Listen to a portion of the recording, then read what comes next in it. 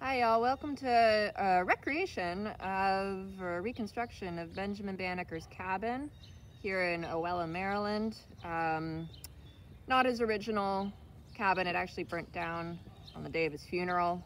But this is one um, reconstructed that based on archaeological evidence.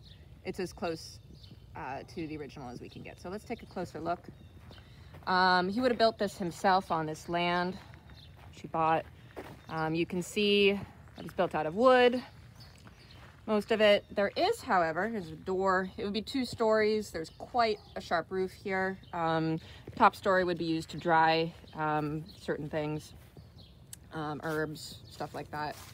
Um, we have a fireplace here. That'd be a working fireplace for food, cooking, as well as heat. Um, so you go around the corner here, and we get a little surprise. We get a window. It's closed right now, but it actually has glass inside, and that's actually a sign of his um, comparative wealth. Um, glass was rather expensive, but he did have a window.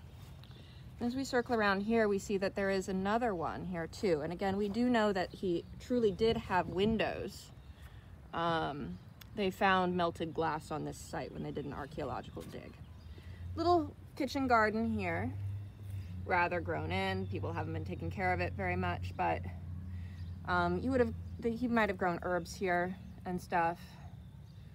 Um, yeah.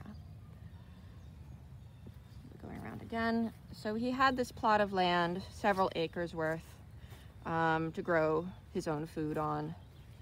And he would have cooked it here in the house that he built himself.